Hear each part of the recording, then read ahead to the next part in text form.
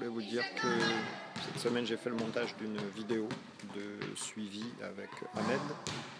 Cette vidéo c'est pour vous expliquer le travail que je fais quotidiennement avec des joueurs qui ne sont pas avec moi ici à Strasbourg mais qui sont, euh, qui sont euh, dans leur ville respective et qui et qui ont besoin qu'on les suive. Alors j'ai vu Ahmed au camp de Lyon, là il est sur Paris, Paris-le-Valois, et on se reverra sûrement euh, lors de mon prochain camp à Paris euh, pour Noël.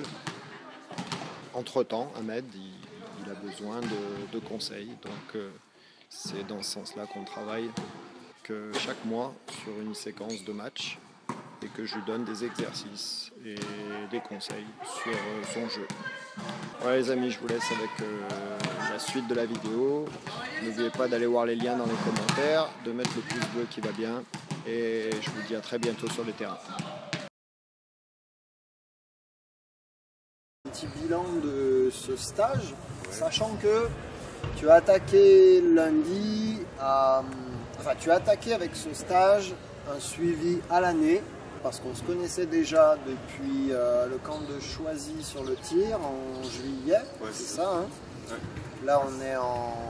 En octobre. Là on est en octobre. Moi aussi je réfléchissais. Là on est en octobre. Donc cet été on t'a proposé pour que tu puisses à l'année à la fois faire des camps, mais entre les camps, avoir fil rouge et un suivi de, ce qui se passe pour toi en club avec euh, des vidéos que tu nous envoies tous les mois. Alors on n'a pas commencé, on commencera le mois prochain. Là, ça a attaqué par le camp et on va pouvoir enchaîner via le travail qu'on a fait cette semaine sur un suivi jusqu'au prochain camp. Peut-être Paris, euh, peut-être chez toi, hein, c'est à domicile. une fois, ouais. Donc, ou, ou, après, hein, il y en a un autre à Paris il y a Strasbourg en février et Paris en avril au niveau. Donc au choix. Et donc on pourra mettre en place ce, suivi. Alors toi sur le. Par rapport d'abord au camp là, euh, parce que l'autre fois c'était que du tir. Hein. Là on a fait un contrôle matin et tir l'après-midi. Comment ça s'est passé pour toi là cette, euh, cette semaine? Bah, ça a été. Franchement, c'est bien parce qu'on travaille plus. Je trouve le camp, euh, le premier camp que j'ai fait avec toi, mhm. c'était plutôt cool aussi. On a travaillé, c'était rythmé. Mais là, c'est encore plus, rythmé. Comme Physiquement, oui. Physiquement, c'est plus rythmé et c'est mieux. Comme ça, c'est complet. On a besoin de voir la contre-attaque, on a besoin de voir les 1 contre 1 et le shoot, c'est important aussi pour un joueur. Donc, euh, c'est cool, moi j'aime bien. Je voulais faire comme ça parce que, alors les anciens dont tu fais partie, je ne voulais pas qu'ils fassent que que le 1 contre 1 ou que le tir. Que le 1 contre 1, c'est tellement fatigant sur une semaine. Je voulais que les après-midi soient un peu, plus sur la gestuelle de tir.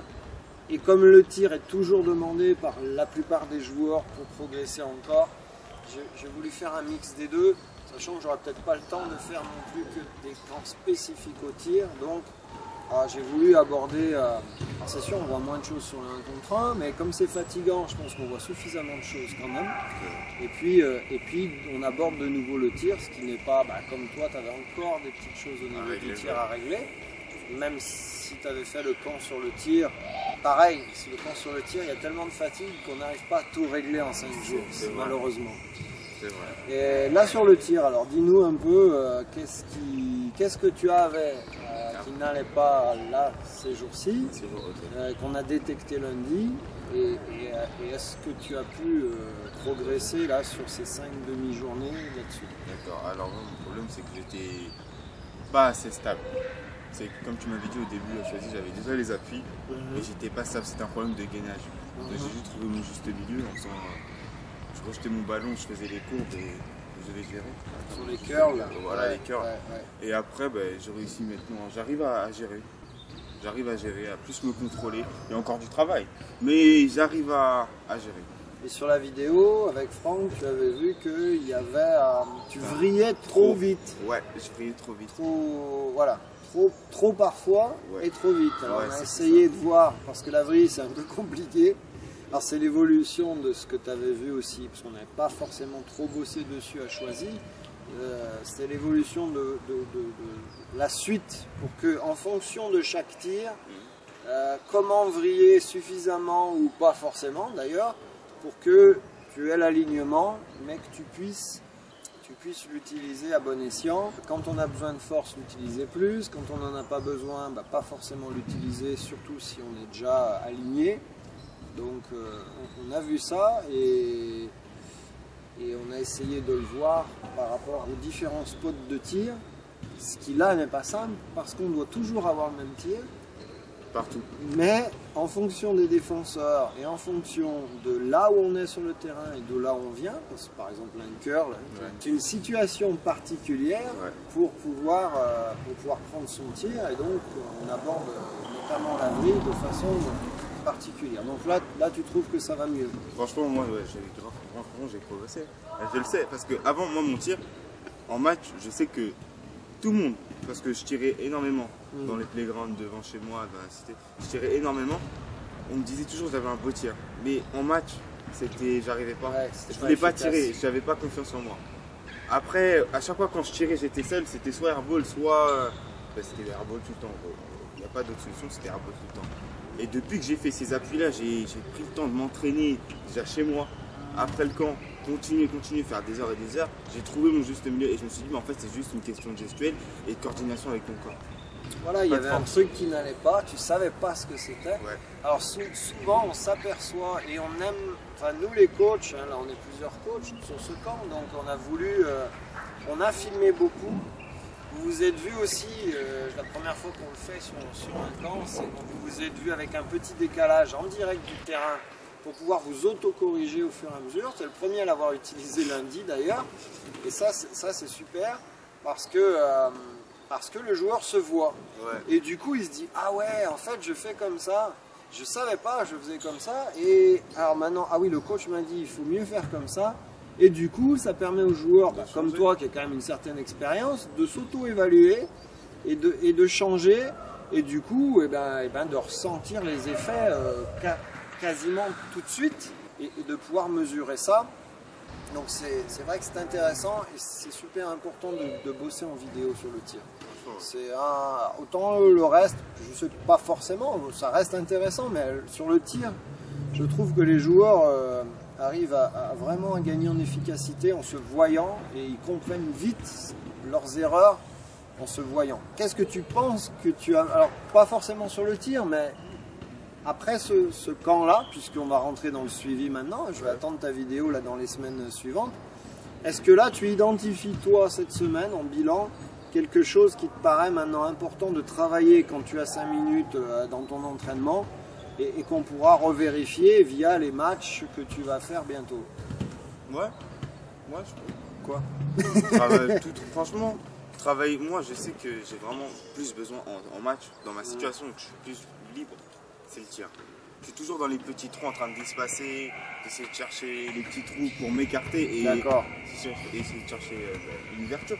Soit pour driver, s'il y a un écran, un écran. Ouais, tu m'avais dit hier Ouais. que tu, tu faisais beaucoup de passes, tu drivais beaucoup. Ouais. Donc le tir pour toi, c'était dans ton jeu aujourd'hui, c'était important que tu aies un vrai tir pour que tu puisses varier et, et- et poser Voilà. plus de problèmes aux défenses. Voilà, c'est ça. tout en étant collectif. hein. Bien sûr, bien sûr, mais l'alternance permet de, du coup de, de proposer plus de choses et, et à ce que ton équipe puisse bénéficier de tout ça. Et en fonction des cas, hein, parce que si à chaque fois le défenseur fait la même erreur et qu'en fait tu as un tir ouvert par exemple derrière un pick and roll, c'est vrai qu'à un moment donné, si le meneur de jeu, toi tu as un meneur de type athlétique et, qui, va au, et qui va au drive, et, souvent, les coachs adverses savent ça assez vite. Ils se disent, ce gars-là, donc ils se disent quoi à leur meneur qui défend Ils disent, bah, passe dessous, passe dessous, passe dessous, parce qu'ils savent que tu vas pas tirer derrière le pic. Maintenant, ils pourront plus dire ça. Parce que tu vas être, une fois, tu vas voir que le gars passe dessous, deux fois, la troisième fois, tu vas tirer. Ah Et, et tu seras en confiance parce que tu sais, en plus on a vu ça derrière les pics hier, euh, de, de- de prendre son tir derrière le pic. Romain l'a fait, toi peut-être un petit peu, je sais pas si tu as le temps de le voir, mais on l'a vu aussi dans le main à main, là, tu sais.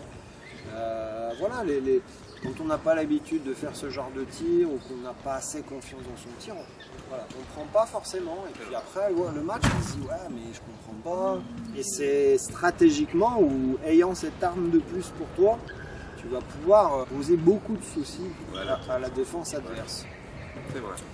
Sur le 1 contre 1, Mhm. est-ce que tu penses que tu as, euh, as des choses à, à travailler que tu as vues euh, cette semaine? Ouais. ouais.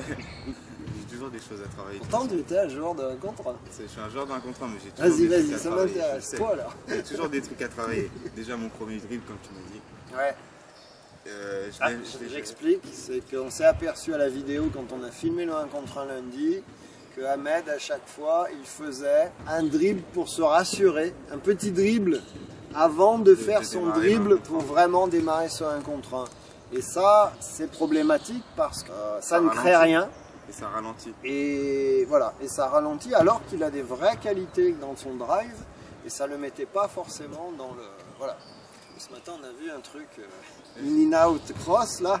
Tu peux faire ça en dribble d'attente par exemple. Déjà c'est le, mec qui se dire mais il fait quoi? Et il y a aussi, euh, j'aimerais aussi, euh, moi je travaille énormément ma rapidité. Énormément. Je travaille pas en faisant des sprints, hein, mais juste en faisant beaucoup de changements de rythme. Balle en main Voilà, balle en main, Mhm. tout le temps, tout le temps, juste en faisant beaucoup de changements de rythme. J'ai un joueur, euh, je peux le dire, caméra, que, que j'admire. Enfin, c'est pas j'admire, mais franchement, je m'intéresse énormément, c'est Jared Fox. Il va super vite et il est. il va super vite sur le jeu. Et il, il peut avoir un buff devant lui, mais ça va pas le gêner. Il encore plus vite et il va jump encore plus haut. Et j'essaye de, trava- de travailler genre euh, sur ces changements de rythme qu'il fait. Et il travaille beaucoup le in and out. C'est son Mm. dribble euh, favori d'ailleurs. Et dès qu'il le prend en contre-attaque, il passe au moins 3-4 jumps. Et quand il finit, c'est toujours encore plus vite. On dirait qu'il s'arrête jamais et c'est toujours toujours vite. Et j'essaye de travailler sur ce défaut-là. Ouais. Est toujours vite et essaye d'être un Parce qu'on a vu ce matin là, euh, il y, a- y plein d'autres encore. hein. Euh, Il y a des, des montagnes de dribbles, de moves. euh, aux États-Unis, ils en ont toute une panoplie. On ne travaille jamais malheureusement en France. Mais après, il y a, il y a toujours une. euh, donc tu as bien parlé de la rapidité par rapport à ça. Il y a toujours une dynamique, euh, quels que soient les dribbles, le- toujours l'amplitude, toujours sortir de son cylindre, toujours travailler sur l'alternance de, vitesse qui font que, euh, que c'est décisif quand on utilise peu importe quel dribble. Et ça va être décisif en fonction pour tous les dribbles. Il y a une cohérence et après on peut faire plein plein plein de dribbles et de moves différents. La cohérence reste la même. C'est vrai, c'est vrai. ça, c'est important. S'il n'y a pas le changement de rythme, bah, tu peux faire tous tes dribbles, tu ne passes pas ton joueur. Tu fais tout au ralenti, euh, bah, Ouais, c'est facile pas- pour le défenseur. Voilà, c'est ça, il te suit juste. C'est Mais voilà, il te suit juste.